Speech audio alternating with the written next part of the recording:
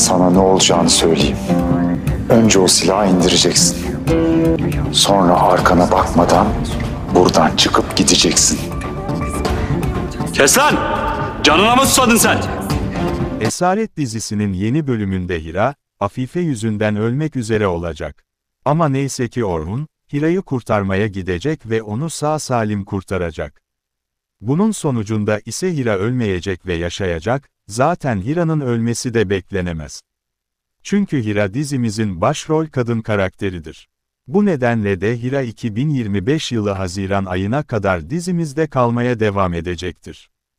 Ama tam tersine dizimizin senaristi olan Nazmiye Yılmaz, dizimizde bir aksiyon sahnesi yaşatmak isterse, Hira bir gün daha mafyanın elinde rehin kalacak.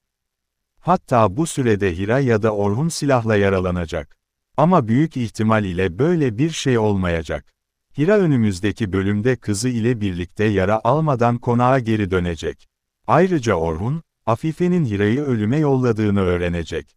Çünkü son bölümde hatırlarsanız Orhun, Hira ile Sahra'yı mafyaların tuzağına düşüren konaktan biri demişti.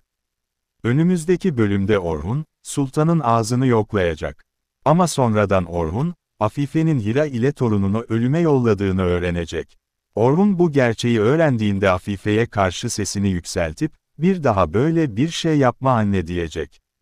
Afife de Orhun'dan korkup bir daha Hira'yı öldürme cüretini kendisinde bulamayacak. Videomuzun sonuna geldik bu tarz videolar için kanalıma abone olmayı unutmayınız.